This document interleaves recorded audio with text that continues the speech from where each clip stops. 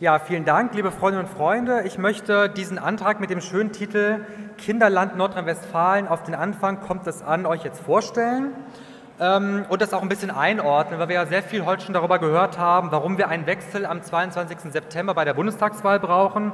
Und das gilt auch und vor allem natürlich für die Kinder und Familien in diesem Land.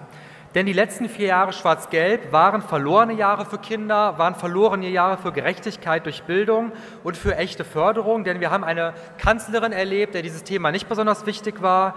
Wir haben eine Ministerin erlebt, die das Familienbild der 50er Jahre wieder einführen wollte.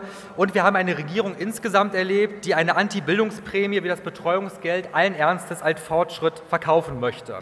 Es gibt aber eine positive Nachricht von dieser Bundesregierung. Ja?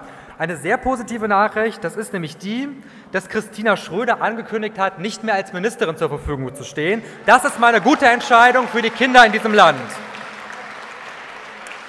Aber diese gesamte Bundesregierung muss gerade, was die Chancen von Kindern angeht, sowas von abgewählt werden. Denn während Schwarz-Gelb in Nordrhein-Westfalen bis 2010 und jetzt immer noch im Bund dafür steht, die Bedarfe von Eltern völlig zu ignorieren und den U3-Ausbau zu torpedieren, hat Rot-Grün in Nordrhein-Westfalen gehandelt.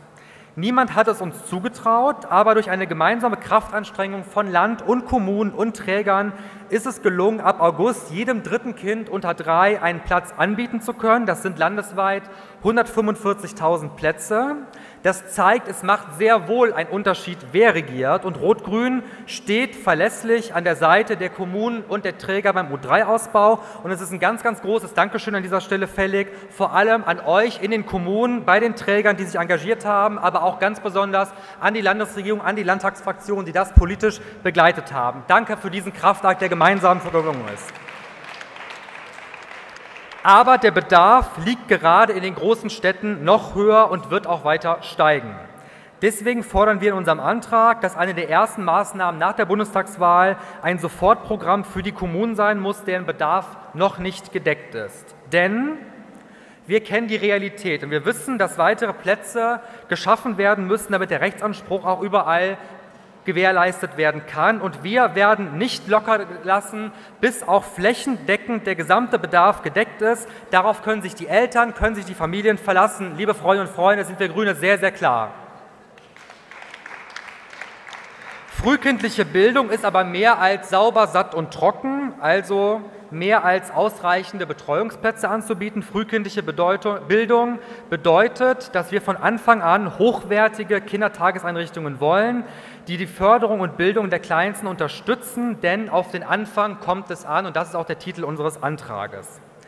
In Nordrhein-Westfalen gibt es knapp 10.000 Kindertageseinrichtungen, in denen 90.000 pädagogische Mitarbeiterinnen und Mitarbeiter arbeiten, die dann wiederum etwa eine halbe Million Kinder betreuen. Hinzu kommen rund 35.000 Kinder, die von Tagesmüttern und leider sehr wenigen Tagesvätern betreut werden.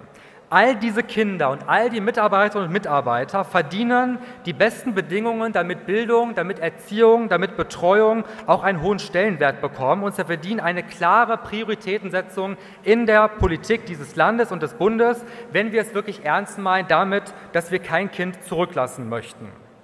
Und mir ist ganz wichtig, dass wir Kitas also Kindertageseinrichtungen, nicht nur unter dem Aspekt der Vereinbarkeit von Familie und Beruf sehen sondern dass gute Kitas mit qualifiziertem und gutem Personal, dass das auch wirklich dem Recht eines jeden Kindes auf Bildung und auf die besten Chancen auch entspricht.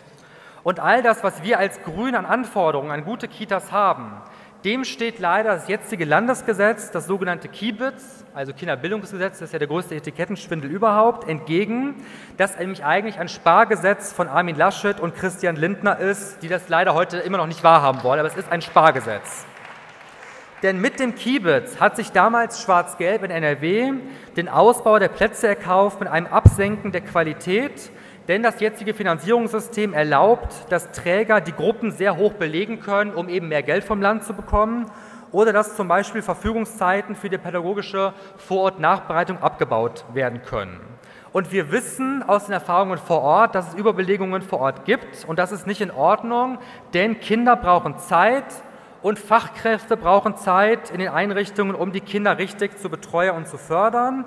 Und wir nehmen die Proteste, die es jetzt auch gibt von Erzieherinnen und Erziehern, sehr ernst. Und deswegen sagen wir mit diesem Antrag auch, wir wollen das jetzige Kiebitz überwinden und ein neues Kindergartengesetz auf Landesebene auf den Weg bringen mit mehr Qualität, liebe Freundinnen und Freunde.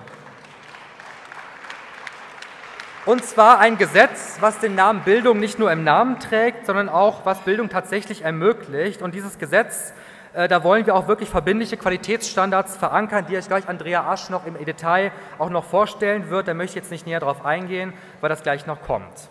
Und ja, gute Bildung von Anfang an kostet. Und deswegen ist auch der Elementarbereich in der Bildung einer der Politikbereiche, das hat auch Silvia gerade eben gesagt, die unter Rot-Grün in Nordrhein-Westfalen am meisten finanzielle Zuwächse erfahren hat, seitdem wir 2010, seit 2010 regieren. Wir Grüne sagen aber auch, wir brauchen mehr Investitionen in diesen Bereich. Und die effektivste Maßnahme wäre natürlich, das Ehegattensplitting wirklich schnellstmöglich abzubauen, denn wir wollen nicht die Ehe, nicht den Trauschein, sondern das Leben mit Kindern fördern. Und unser Modell der Abschmelzung des Ehegattensplittings würde unmittelbar für Nordrhein-Westfalen 500 Millionen Euro Mehreinnahmen bedeuten, die wir sofort auch wirklich verbindlich in die Kitas investieren möchten. Und das wäre ein gut angelegtes Geld, wofür wir Grüne auch verbindlich nach der Bundestagswahl stehen werden, liebe Freundinnen und Freunde. Ich sage aber auch, und damit komme ich zum Schluss, dass wir klare Prioritäten in diesem Elementarbereich brauchen.